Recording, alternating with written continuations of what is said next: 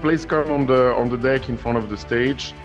Um, first of all, thank you all for being here with us today. Um, my name is Terry Proto. I'm CEO of Virtual Reality Marketing. Uh, again, I want to welcome all of you here in the Altspace. And I also want to welcome and thank everyone who's watching us online on AWE Live as well. Um, for starters, I want to give a few words about us.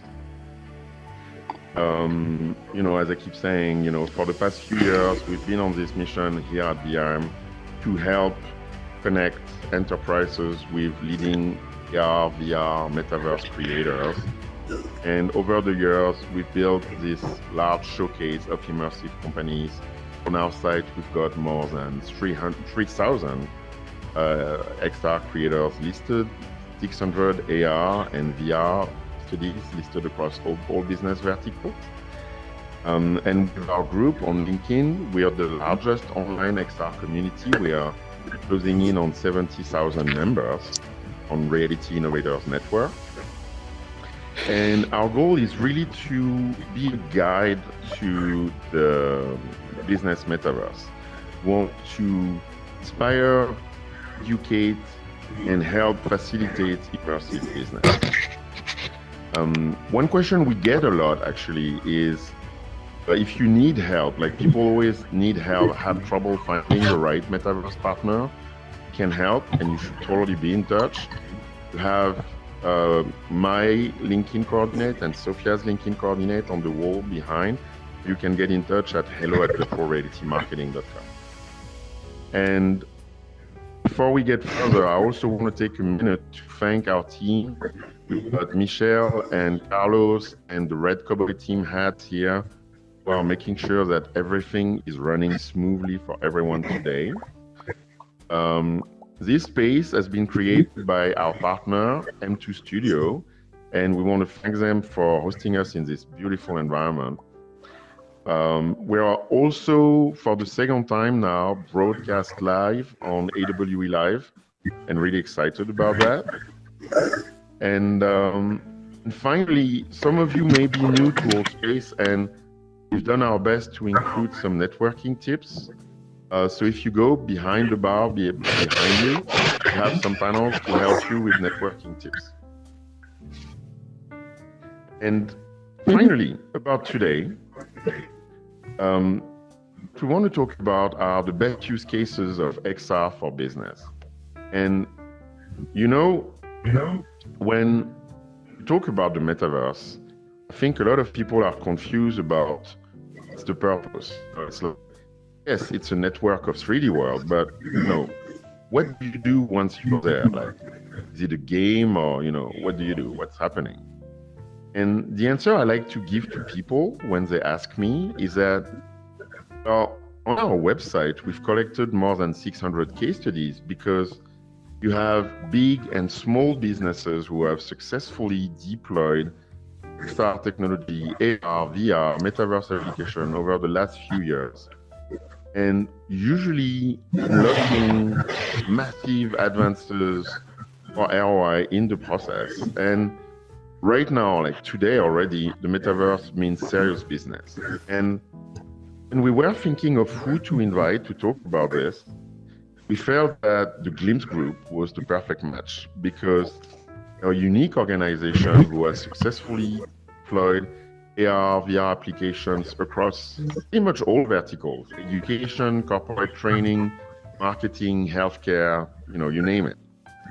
So I'm very excited to welcome DJ Smith and James Watson today. These guys, give them a warm welcome, and Sophia, I'll let you take it from here. Right. Hi, everyone. Thanks for joining us today, DJ and James. Um, I've known you guys for quite some time. I've actually had both of you guys on the VR/AR Association podcast um, separately um, throughout the years.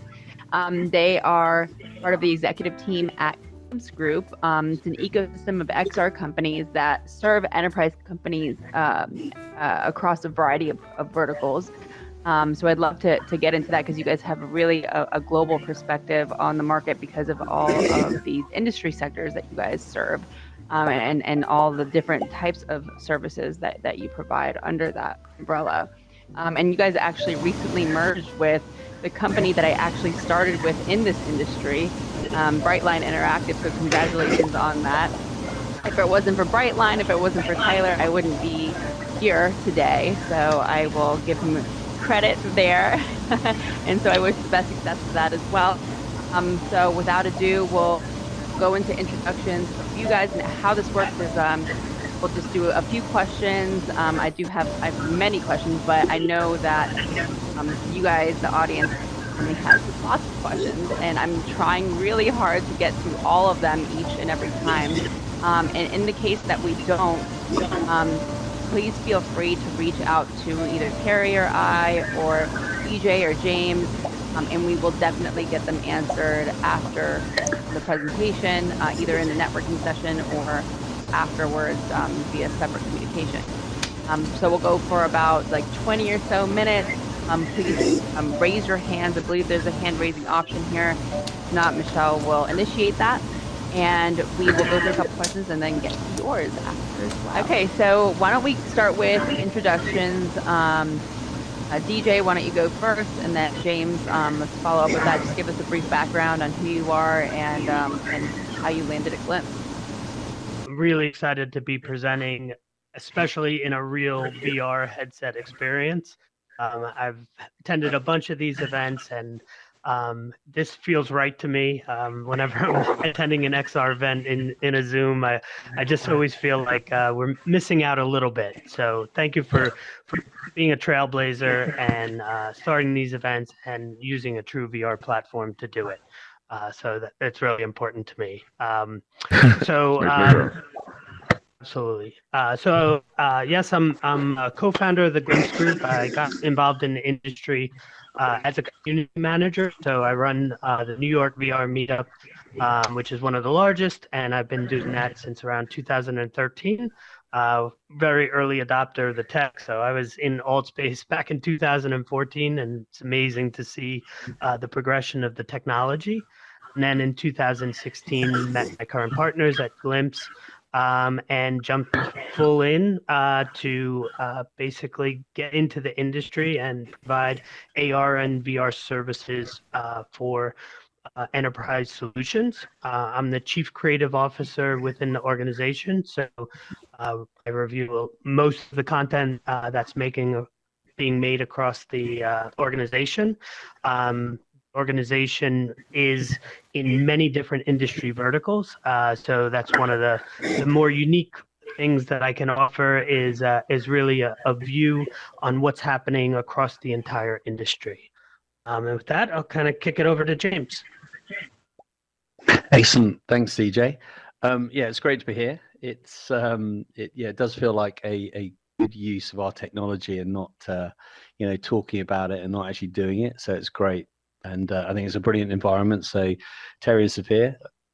very good to be here. Great fun. So I think before um, before I, I give you the sort of a little bit of a story as as to how I've come into the this sector and also tell you a little bit about the group. I think we're going to play a quick video just to give you a sense of all the different things the Glimpse group does, which I think is what makes us absolutely unique. The Glimpse Group is a virtual and augmented reality platform company comprised of a diverse group of wholly owned subsidiary companies. Each subsidiary creates cutting edge VR and AR software solutions for leading enterprises in marketing, architecture, engineering, manufacturing, healthcare, education, retail, food, and financial services.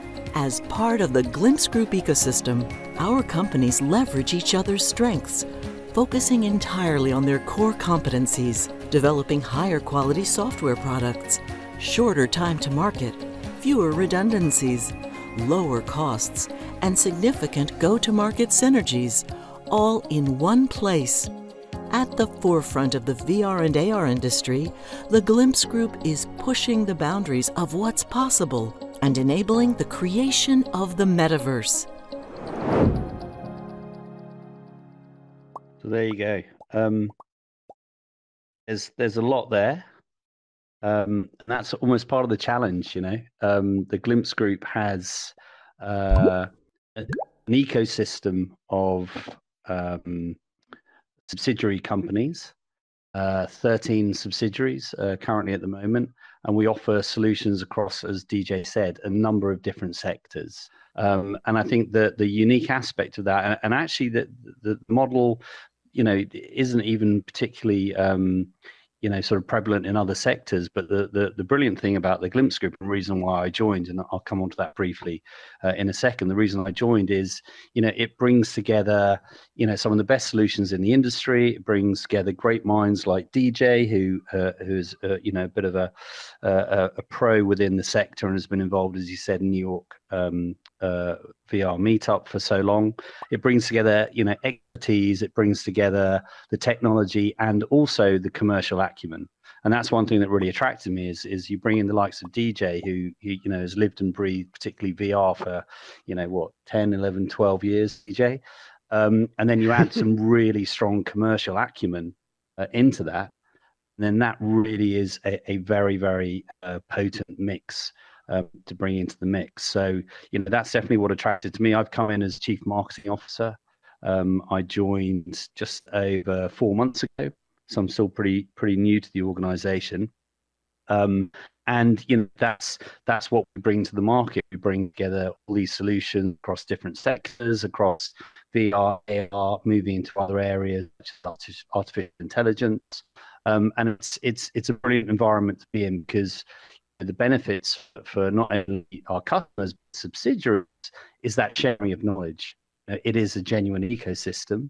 Uh, we share knowledge across the group. So if one subsidiary is working in a certain sector, they've hit a certain challenge, that's more than likely going to apply to other sectors as well. So that knowledge can therefore sort of, you know, percolate through um, the ecosystem. Maybe osmosis would be a better one for ecosystem. I think osmosis is better. We'll go with osmosis. Mm-hmm. Um, and you know, and then we can share all those experience, understand it, you know, scale up where we need to. So, you know, I joined having been in this industry, this sector. You know, I feel really lucky to have been involved for. I think it's almost ten years now. Uh, the first DK1 is when I, I, managed to sort of drift into the, the VR environment. Luckily, um, working at a, a, creative agency where a bold customer bought a project using the DK1, which uh, is bold or crazy. I'm not sure, but probably a little bit of bold, a little bit of crazy. Just the mm-hmm. just the sort of perfect, the perfect sort of customer you want to have, really. And that got me into it. And you know, setting up teams in creative agencies. And I moved over to um, more the enterprise side, um, and then on to working with uh, with Glimpse Group. So super happy to be here.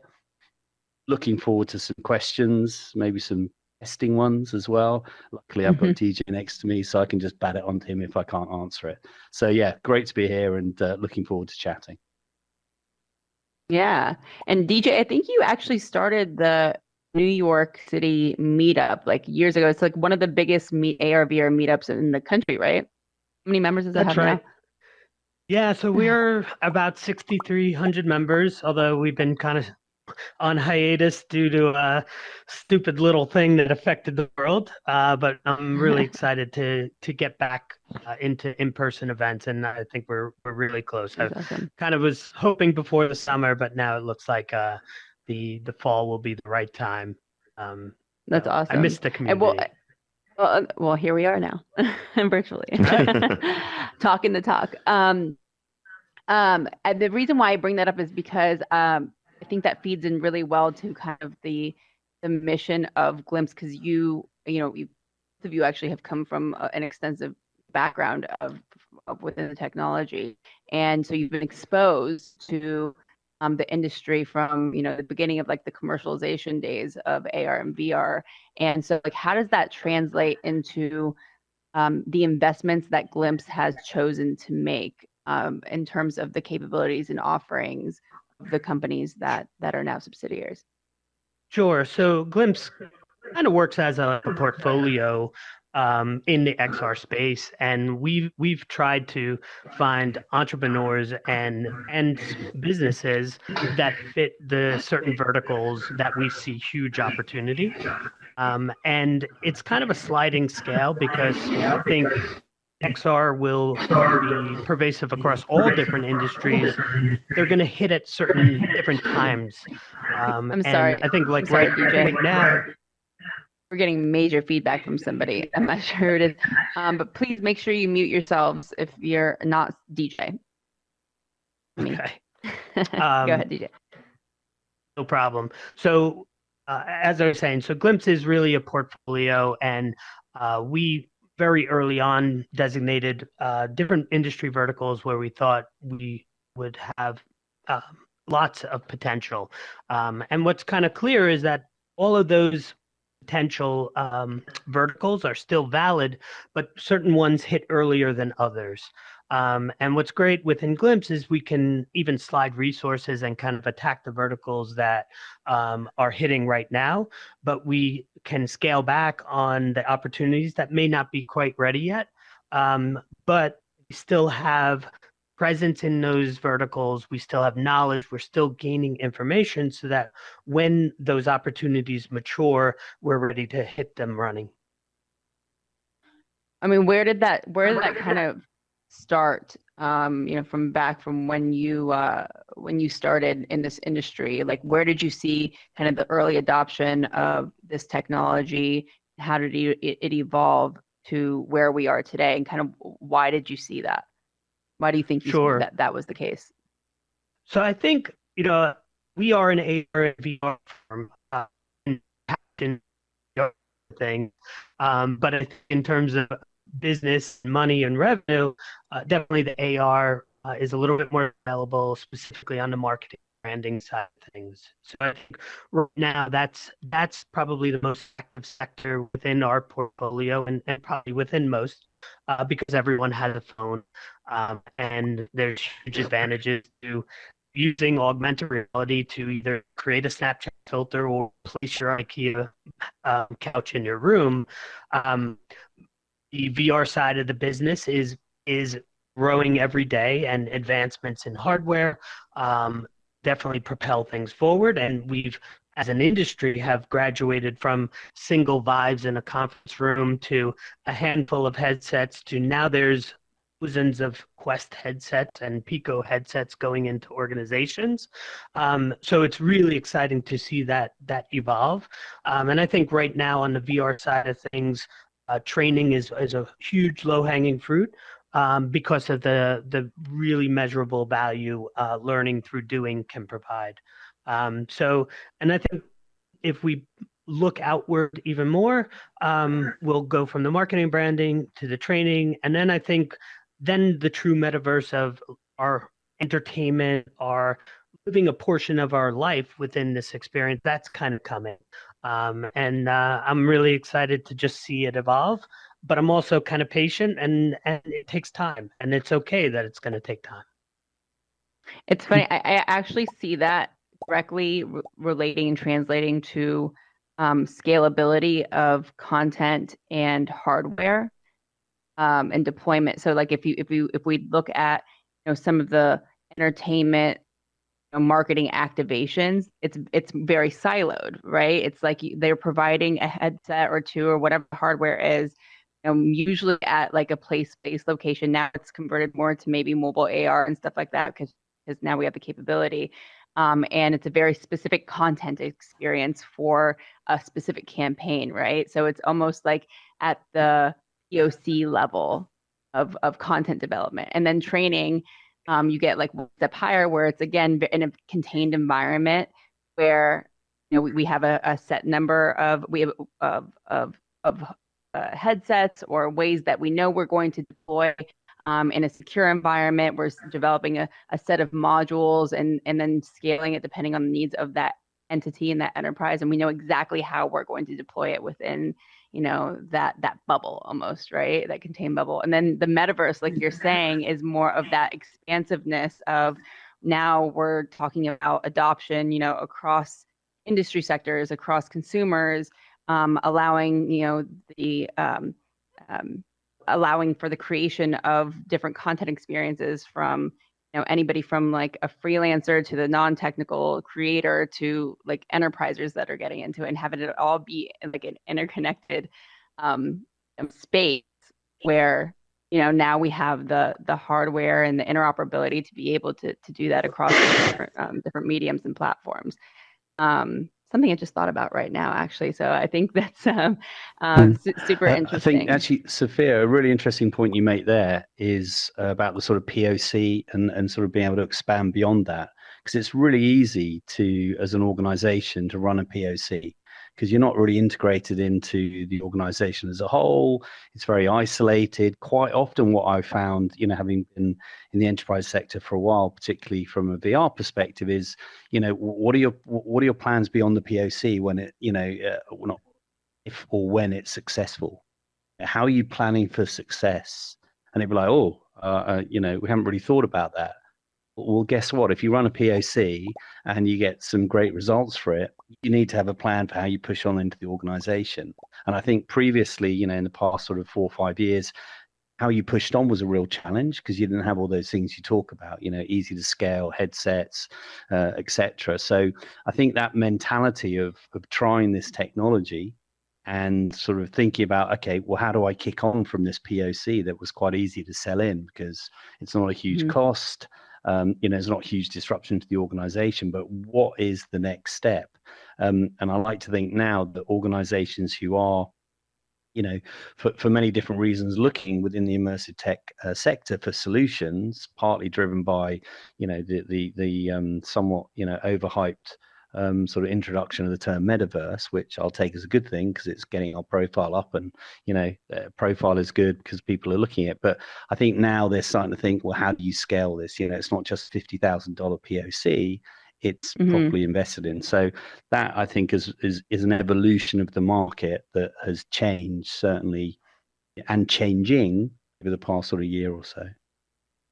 Yeah, and, and I and I talk about this all the time in terms of um, the the database that VRM has on the website in terms of the, the creators and the the use cases is that no longer does an entity have to invest in their own POC to be able to understand what the ROI is when we have these yeah. um, you know we we have these trials already been done by other companies or entities in their sector and they can kind of refer back to that now um, and then able to almost scale immediately and trust that their investment is worth it um, you know because it's already been done before um, so i think yeah. that's that's um, you know it's information and data like that that's super valuable to both our industry so so we can you know do better at what we do um, and refer to those use cases as well as you know companies that are looking to invest in these solutions that they know where to look to be able to kind of validate their um, their investments before they make them. Yeah. Um, so yeah, absolutely. Um, and, and so James, I back to what you were saying. Um, I, I one question I like to ask also because I think it's really important when talking about those POCs is what is your definition of success? Because when building, you know, one of those prototypes and when building, you know, these first applications, it's also really important, I find, to you know set the expectations and and set what are we expecting what are we going to get from this thing? It's a new thing yeah. we're going to bring going to be game changing. What's your take on this? So i mean i can answer that. The, the measure of success is actually dependent on what that initiative is. So that is actually asked and answered individually on each opportunity because the measurement of success for one client and one initiative is not necessarily going to be the same for another client.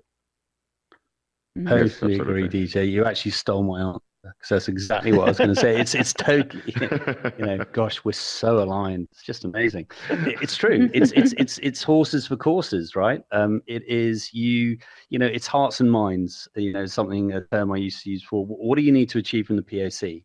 Have you got a? Is it about heart or is it mind? So do you need really hard data to come out of it to convince your CEO, your CFO, or whoever? Or is it actually you want something that you know you put on, you know, you put a VR experience or an AR experience, and they just go, "Oh my god, that's incredible! That's absolutely amazing. We have to do this." So you know, ideally, it, a combination exactly of both. I mean, ideally, it's got, but, but it's your audience. I mean, to DJ's point, it's yeah. your audience. You know, is your audience someone who's going to look at look at hard data as an outcome, or is it your audience someone who's going to look at going i see the potential um, and so yeah exactly what Jay said, it, it's whatever fits. You want to get from a POC into a full rollout, and just do whatever you need to do in order to get to that if you believe in what you're doing. I think right. one one universal thing, and you hinted to it too, though, across the board, especially if you're using VR technology, you have to make it amazing and you have to make it simple and you have to make it fun.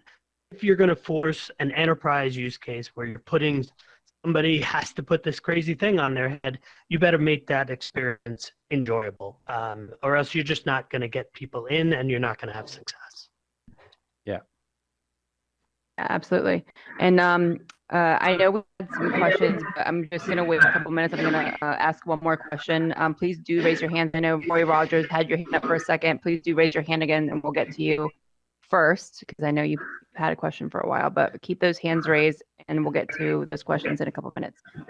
Um, I wanted to move through because we have like a lot of people that are obviously in the XR industry um, with their own companies here. And um, you guys are obviously in the business of measuring the success of those companies as well. Um, how do you measure the value and success of those companies? And, and how do you define success or perhaps the promise of success with the companies that you guys have or, or have invested in? Um, if anybody else is, is kind of looking at um, those success metrics for themselves. Sure. So I can answer this. Um, so in the early days of Glimpse, uh, we were really looking for the right type of individual because it is such a collaborative nature. It has to be somebody who kind of buys into that ecosystem um, in specific verticals where we saw opportunity. Um, last year, we were fortunate enough to go public. So we're uh, one of the first enterprise uh, AR VR providers on NASDAQ. Our ticker is VRAR if you want to check us out. Um, but being a publicly traded company now, um, our mergers and acquisitions tactics has kind of uh, shifted a little bit. No longer looking for smaller entities. Um, and ideas, we're actually looking for established entities um, with products that are scaling. You know, we're we're excited about folks that have gone on this journey with with us uh, and have been in the space for many years, um, and they've seen seen success. Um, and it's a it's a pretty easy leap of faith to say that if you've been successful and you've made it to five or six years into the industry and you have positive revenue, um, that's a really telling sign of, of what your future holds. Um, so that's a, a, really good metric uh, that makes things easy for us. Yeah, so just keep growing year after year. Yeah. you know what, guys? I have a question. I have a question. Talking of questions, can you, you know, you've got this perspective and and you've got those 13 companies. Um, DJ, you were saying that you're seeing that your AR use cases are going faster than your VR use cases, probably because much larger user base. You know, everyone has a phone or a tablet. If you were you know, difficult question, but if you were to pick out of all the companies and out of all of the use cases, what's your top three? Like, what are, you know, either, and the metric would be either most successful in terms of business, or as you were saying, like, was the most exciting in terms of product. Are you able to do that? So, you can go by use case. I've, I've been asked this many times, and it's it's kind of like asking a parent who's your favorite child. Uh, right, right, right. So I think all of the sectors that we're in have huge potential. Um, definitely, some of the sectors need to um, wait a little bit more till the opportunity is right. Um, but I wouldn't necessarily say that you know one sector is more exciting than any other because it, it just slides all the time. Um, and there's each one of our entities has great things happening across the board. Um, what I find really rewarding is that each one is in a different sector, and I get to spend my time kind of taking deep dives into these little sectors um, which is like fascinating for me. One one new company we got, uh, it's called Pulpo. Um, they joined our division called QReal, and they do virtual makeup try on. Um, which I think is an enormous opportunity. And about you know a couple months before uh, they joined us, I could say I pretty much knew absolutely nothing about women's makeup. Um, and now I feel like I can talk to talk with my 16 year old daughter like nobody else. um, and the, and the more time I spend in that space, the more I understand the intricacies of that industry and what things move. And it's a massive, massive industry. And it's a massive opportunity because virtual makeup try on has real value uh, for consumers. Um, Right. So, right. you know, that's just one little example, but I could I could kind of say that for all of our different entities, and it's just a matter of right. timing. Talking of QReal, so I'm not an expert of virtual makeup, but I've seen, for instance, the virtual watches try on. Uh, I've seen one recently on LinkedIn where you had it was try on and a configurator at the same time. So you could try the watch and then you could select all of the various materials and and the faces and everything. And that was really impressive.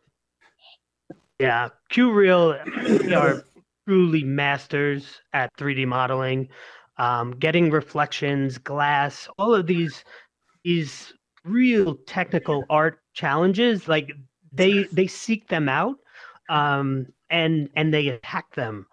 Um, and you know, I just have nothing but respect for that entire team. Um, the way that they position themselves, the the way that every piece of content they put out is just top, top, top level. Um, Right. and uh, you know, the that their success is is based on that. Um, so it's really, really exciting to see that organization grow. Um, and really, the sky's the limit for them. Right. And actually, Yeah. on that front, Uh, Terry, they they did um, they did a campaign with Bolle um, sunglasses, uh, which was a Right. much as you saw with the um, with the watch, which I think is sort of a, a fairly early sort of prototype uh, exa- example. And you know, they worked with Bolle, virtual try on of sunglasses. You could also look through them, so you see the tint, the difference in the different tints, the different lenses, and that was phenomenally successful. Um, I think 456% up, uptake in sales Wow. on this particular model, which was okay, you know, maybe slightly exacerbated, but it was still an incredible, um, you know, upswing in their sales. And I think that comes back to DJ's point that virtual try on because the barriers are so low, you know, um, is just an area that I think is is really primed to to take off because you know it's it's easy. Right? It's and it's adding a huge amount of value. Well, So- yeah, I, I feel like people were using people were using you know AR uh, AR filters before they even really knew what AR was. So Yeah, yeah, 100% definitely. that's a low hanging fruit. Um, okay, so we have a couple questions. Roy Rogers, if you're still in the room, please raise your hand again and we'll get to you. But I don't see you on the board right now, so we'll start with Danielle. Um, and Michelle, if you would pass the mic. All right, Danielle, go ahead. Oh yeah, um, reflection probes are awesome. I I love using them in Unity, but it, it's interesting. Like, so the industry. I've been in this industry for a long time. Um, you guys don't get scared the fact that it's all based on one company, Facebook, which is losing massive amounts of money, and it it all hinges on Oculus Quest and all those kind of things that don't necessarily have the power to do a lot of the things that we want to do. Well, we, I mean, we're hardware agnostic, so we pick the right solution for the job. Um, definitely, we have a lot of um, uh, Quest 2 deployments, and we're partnered with Facebook and Meta, and um, you know they are as they're in a challenging position, but they are they are trailblazing, right? If if they didn't exist, most people wouldn't have access to a true VR headset. Um, but we also have deployments with the other headset manufacturers, and then obviously on the AR side of things, that's kind of independent of it. Um, so I, I do fall in this uh, in this camp of of Facebook and Meta has has blaze trailed, and and I'm wearing a Quest 2 now, and I spent two hundred ninety nine dollars on that, um, and that's real real value. Um, uh, so I do hope that there's many, many other custom or competitors, um, because that's in the best interest of the industry uh, uh, growing and evolving, and and that will happen. Yeah, Well, and I just and- echo, Yeah. echo those words. You know, that that, you know, with Pico getting their act together a little bit. Okay, so you know, you go from Facebook, Meta to you know, ByteDance and what have you, but there, there is more competition coming in, and and as you know, Meta is driving the market for better or for worse, and as they drive the market, there'll be more opportunity for other um, other providers to come in because the market will be bigger. So, you know, to DJ's point, they're trailblazing, you know, like them, dislike them, whatever. You know, it, it's definitely doing a job for the here and now that I think is is overall benefiting our sector um, more than it's it's sort of a negative. Okay, let's go to the next question. Aaron. Hello. Um, so yeah, I was, uh, I haven't been on here in a while. But anyway, uh, I was gonna say that, uh, one cool thing about, uh, virtual reality is that you can wear 3D glasses in it. And I've been, uh, making those for my art gallery and stuff, and, like, I make 3D art. I also sometimes draw, uh, AI generated stuff. I, and I draw, hand draw it myself and makes but except when I draw it, it becomes 3D or 3D glasses, and the and the reference image is not 3D. I, I'm, Oh. I Anyway. agree with you. I'm I love to draw too, and um, I always used to do oil painting and, and pencil sketches, and then tilt brush came around, and I I was like, wow, this is super super cool. So one of my favorite things to do in VR is drawing, um, Yeah. and I think oh, but I actually do uh, my drawings mostly in uh, real life and draw that way. Sure. Hi. So, um, just a quick question regarding interoperability uh, between various metaverses and standardization. Do you guys see any efforts being made by the industry in that direction? Um, Yeah. Sure. I mean, the the kind of falls in the whole category of Web three, and definitely the whole industry, and uh, it- it's all going in that direction. Um, so we we do have we are active in that space. Um, we've done several different deployments uh, in the crypto genre with the uh, galleries for NFTs as well as uh, creation of NFTs and then education of uh, the space. And I think that blockchain um, verification is going to be, you know, a huge component of the metaverse uh, because it validates identity and gives a financial marketplace. So And, and we've um, joined the gosh, I'm I'm terrible. I forget the name. Metaverse Forum. It's the, the, the Metaverse big Standards Forum. ju- Yeah, I was just gonna. Metaverse just gonna Standards Forum. So we're members of that. Um, you know, so all those uh, you know organisations are kind of interesting. I think there's a couple popped up now, so you don't want them to be competing. But you know, they're starting to get to that point where they're they're talking about interoperability, persistence, all these sorts of things. So, you know, it's early stages. I, I would just say, you know, look at the challenges that we've had to sort of you know put any standards and you know operability, interoperability around the internet and sort of manage that. It's taken a while. So you know, with it because it's going to be, I think, a fairly long time and perhaps a little bit bumpy. But people are at least properly thinking about those those things now. Yeah. Um, One thing you, yeah. So the, you might want to have a look or, or um, USD, and it's kind of the, um, the equivalent. You know, HTML is how we uh, web pages on the internet. And USD is a language that was created originally by Pixar, and it's a very good competitor to becoming like the universal description language for 3D scenes and environments to make it easier to have all of your 3D data compatible from one environment to the next. But as James and DJ were saying, it's right now we're at the stage where we're setting the foundations of the house, and and it's all going to come together in the next few years.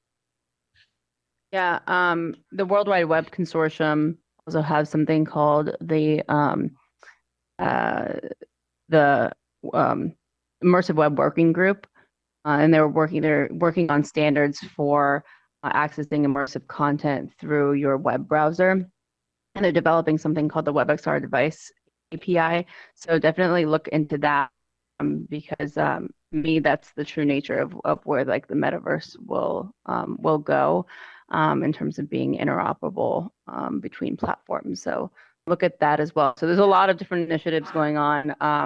The the Metaverse Standards Forum is definitely an important one because that is being led also by all like the big tech companies that are kind of working together towards this as well. Um, do we want to do one more question?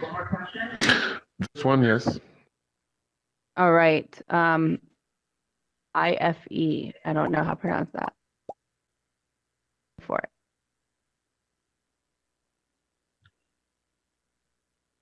Iffy, Iffy, All right, old um, E- All right, thank you very much. Um, I couldn't hear the um, others as they asked the questions, but I'll just ask mine. Um, okay, as a computer science graduate, I just recently finished school.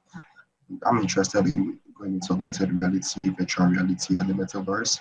So um, I don't know if there are any opportunities for people like me who just finished um, from college and are looking to get to the metaverse, a career in the metaverse, basically. He's That's what asking for opportunities are a- there when you come out of university, right? To uh, to look at it. Uh, what did you study, Iffy? Okay, I studied computer science. Okay. I mean, think this is a good Isa, use do case you for want to talk a little bit about talk Yeah. a little bit about um, the uh, programs we've got? That'd be good. Yeah. Um, so we actually one of our entities is called XR Terra, um, and they specifically uh, do workshops and, and programs to um, uh, get people into the industry either on design or development side of things. Um, that's a really great way to kind of augment uh, your knowledge. But then I think that even beyond those additional workshops, I just say start building your own portfolio. Um, you know, build and learn as much as you can and then also join these types of communities and network and go to meetups um, and then seek out some kind of internship uh, within with uh, an organization in the space to, to get your foot in the door um, but the first first and foremost is just start building you know start building your own portfolio of, of your work play around 100%. All right, thank you very much. All right, guys.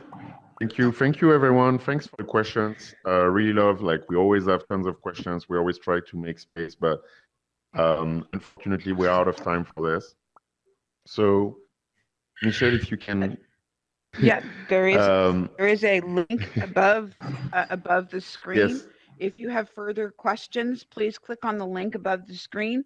If you're in a PC or Mac, you will take you right to the LinkedIn chat room to be able to ask your questions. Uh, if you're on a quest, then just take a picture of the link and you can go to message and, and take you directly there to be able to ask more questions. Yeah, and Right, we'll be so- hanging around for a little bit as well after this. Um, I think DJ and James will be around, so um, Yeah. feel free to go up to them and, and bother them too.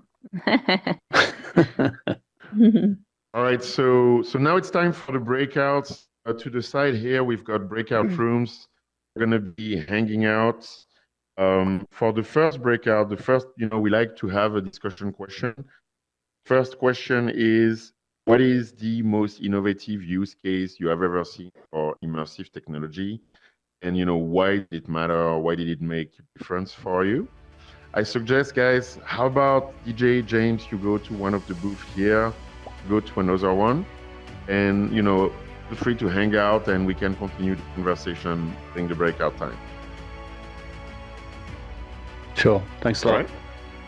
perfect Thanks, guys.